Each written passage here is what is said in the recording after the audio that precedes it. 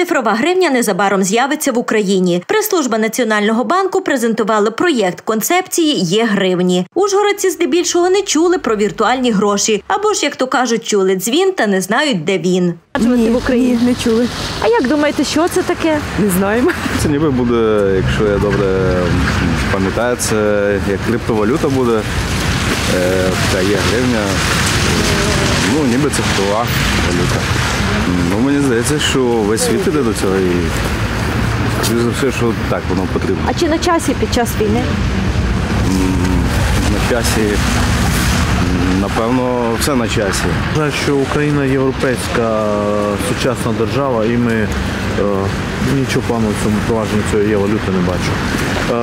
Е, я вважаю, наша економіка, незважаючи на війну, на такі може важкі часи повинна працювати. Ми повинні підтримувати армію.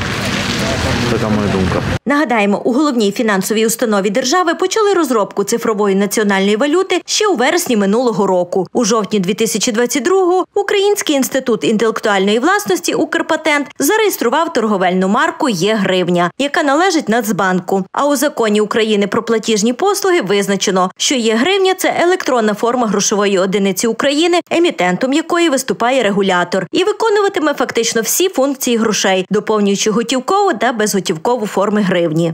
На, на прикладі таких е, уже зручних банківських се- сервісів, е, е, в тому числі, як ми бачимо, які пропонує там Приватбанк, Ощадбанк, е, інші е, банківські установи, е, це буде можливість швидко конвертувати е, електронні гроші.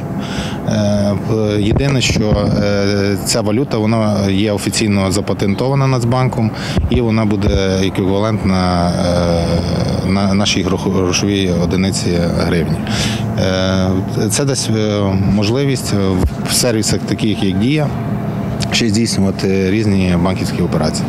Є гривня стане зручною та доступною як для пересічних громадян, так і для юридичних осіб, державних органів, банків та небанківських надавачів платіжних послуг. Анонсує регулятор. Наразі Нацбанк розглядає такі варіанти використання цифрових грошей для роздрібних безготівкових платежів, до прикладу, соціальних виплат, зниження державних видатків на адміністрування та контроль цільового використання коштів, а також для використання у сфері, пов'язаній з обігом віртуальних активів, що сприятиме розвитку цієї сфери.